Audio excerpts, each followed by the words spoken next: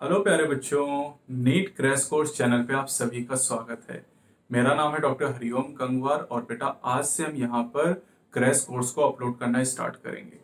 तो आप जानते हैं कि एनसीईआरटी में बेटा 38 चैप्टर है और सबसे पहला जो चैप्टर है that is the living world तो इसी लिविंग वर्ड से हम शुरुआत करेंगे और आप जानते होंगे कि शुरुआत में चैनल पे लिमिटेशन होती है। कि 10 मिनट से ज़्यादा बड़ी वीडियो हम अपलोड नहीं कर सकते हैं।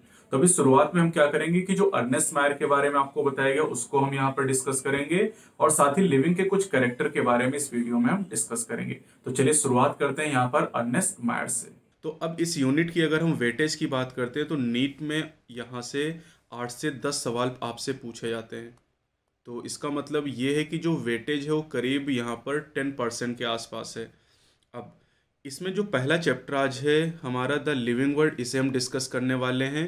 तो इस यूनिट में जो शुरुआत में आपको ये पॉइंट दिए गए हैं, इनमें पहली लाइन इंपॉर्टेंट है कि biology is the science of life form and living processes biology एक ऐसी विज्ञान है जहाँ पर हम लाइफ यानी जीवन के बारे में और लिविंग प्रोसेसेस के बारे में स्टडी करते हैं। तो बच्चों, इस चैप्टर की शुरुआत में आपको एक साइंटिस्ट के बारे में बताया गया। वैसे एन की हर एक यूनिट में एक एक साइंटिस्ट आपको पढ़ना है। तो यहाँ पर जो साइंटिस्ट हैं, ये हैं अर्नेस्ट मायर। इन अर्नेस्ट मायर के बारे में कुछ पॉइंट एन ने दिए, जिन्हें हम डिस्कस करेंगे। जैसे, अर्नेस्ट मायर का जो जन्म है, वो कैम्पटन, जर्मनी में हुआ। तो ये पहला पॉइंट इनके लिए आपको याद करना है। दूसरा, अर्नेस्ट मायर इवोल्यूशनरी बायोलॉजिस्ट थे। ये इंपॉर्टेंट पॉइंट है। इन्हें कहा जाता है the Darwin of the twenty century इन्हें बीसवीं शताब्दी का डार्विन कहा जाता है। अर्नेस्ट मायर दुनिया के सौ सबसे महान वैज्ञानिकों में से एक माने जाते हैं। यानी Ernest Mayr was one of the hundred greatest scientist of all time अब, हर लाइन बहुत ज़्यादा ज़रूरी नहीं, जो लाइन इंपॉर्टेंट मैं वो आपको बताऊँगा। इनका जो साइंटिफिक कैरियर रहा, वो करीब 80 साल का रहा। 80 साल के कैरियर में इन्होंने रिसर्च किया ornithology ornithology is the study of the birds taxonomy, जो मैं इसी चैप्टर में आपको पढ़ाऊँगा जू जियोग्राफी जू जियोग्राफी का मतलब distribution of animal on this earth, evolution, विकास, पूरा चैप्टर आप पढ़ेंगे, सिस्टमेटिक इसी चैप्टर में आप पढ़ेंगे, and the history and philosophy of the biology. तो अब ये जो छः फ़ील्ड इनके हैं, इनको याद करने का एक निमोनिक भी मैं आपको बताता हूँ दैट इज़ हॉस्टेज हॉस्टेज के द्वारा आप इन्हीं फ़ील्ड को याद कर सकते हैं, जैसे H for the history and philosophy of the biology O for the ornithology S for the systematic T for the taxonomy E for the evolution and Z for the zoogeography तो इस तरीके से आसानी से आप इन्हें याद कर सकते हैं। ओरिजिन ऑफ़ स्पीसीज डाइवर्सिटी जो कि एक इंपॉर्टेंट क्वेश्चन है एवोल्यूशनरी बायोलॉजी में। इसकी जो डेफिनेशन है, इसके बारे में अर्नेस्ट मायर ने बताया। साथ ही साथ अगर हम बात करते हैं बायोलॉजिकल स्पीसीज के बारे में तो स्पीसीज की जो करेंटली एक्सेप्टेड डेफिनेशन है, ये अर्नेस्ट मायर के द्वारा दी गई है।